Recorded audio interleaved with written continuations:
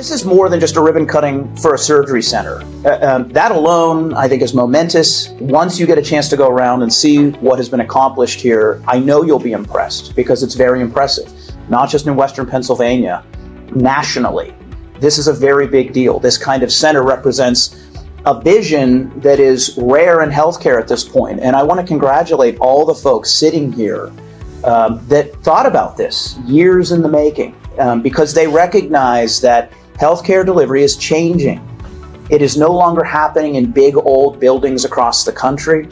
It's out migrating to places like this. It's a facility that is going to benefit the patients of Northwestern Pennsylvania so that they can get exceedingly high quality, effective care in a luxurious environment in an outpatient setting. But it's also representing the future and somewhat the now of how we do this in America. And so I think this is really a beacon of hope across the country about how we can do this. And I'm really proud to be a very small part of what this broader group of people have done and the vision it represents. And I think you're going to find that this is something people reference back over and over again. Remember when they started doing that there. Remember how we were able to change the way care got delivered there. I couldn't be more proud to house the at this center in my district, but also that Erie County is home to now the largest medical school in the nation. And I think that that deserves a round of applause because that's a lot of hard work. I am always proud to go to bat for additional resources for LECOM because that's an investment in our community. These are the job creators here, and uh, I can't thank you enough for continuing to invest here locally. The future of Erie County is in education, technology, and medicine, and LECOM checks every box. So thank you for your commitment to the community. And what this will do, keeping the community healthy. When we look at surveys of communities, community health is one of the key components to a thriving community.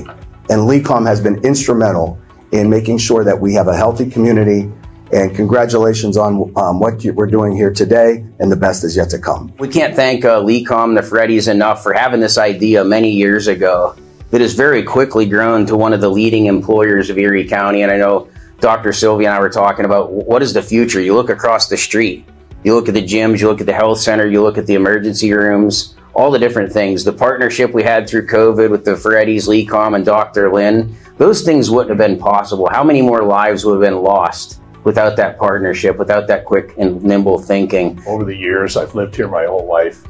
Um, uh, GE employed almost 20,000 people when my father was working there. They're down to about 3,000 now. So the job losses that we've seen in our community uh, when AMSCO left, Zurn left, uh, is not easy to replace those jobs. So I really appreciate the fact that you have been creating jobs in this community on the human factor of LECOM. To know that our residents, to know that my family is within minutes of a world-class medical facility is worth its weight in gold. I can uh, do the honors in three, two, one. Thank you.